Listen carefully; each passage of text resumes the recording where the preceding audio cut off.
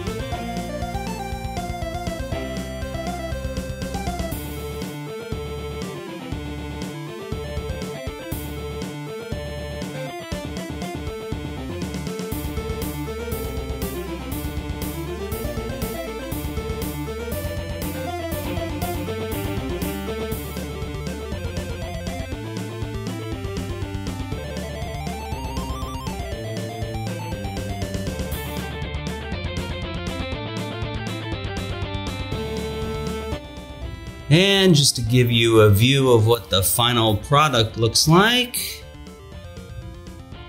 pretty detailed anatomy.